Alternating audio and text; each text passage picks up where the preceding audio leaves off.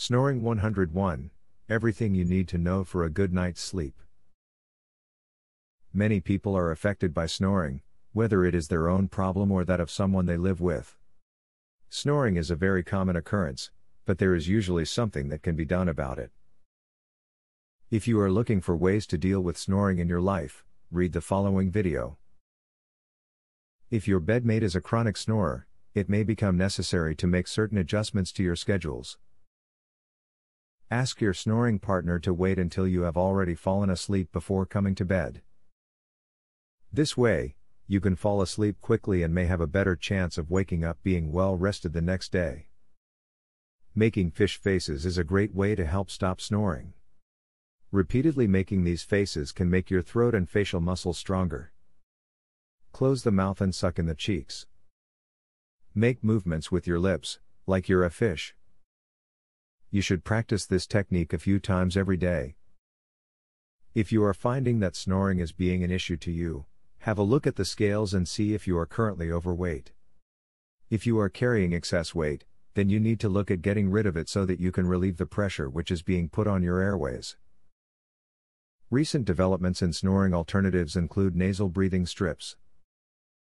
These strips are similar to a band aid. However, they are different than a normal band aid. Their purpose is to make sure your nasal passages are open. When your nasal passages are open, you can more easily breathe, which stops you from snoring. In order to reduce snoring at night, work to clear your nasal passages before going to bed. You can take a nasal decongestant, pill or spray, or sleep with a neti pot next to your bed for a more organic solution. Getting the mucus out of your passages will make it less likely that you will snore. Make sure that you find a comfortable position when lying down to sleep. One of the reasons that you will snore during the night is because of a lack of comfort when you lay down. Reduce the strain on your body to limit snoring in an effort to optimize the coziness of your night. As you can see, there are many things that can be done to deal with the snoring, yours or someone else's. Snoring can be quite annoying and bothersome, but by using the information offered here, you will have a better idea of what can be done about the snoring in your life. Would you like to learn this easy, throat exercise that eliminates your snoring tonight? Visit secretsnoringhack.com.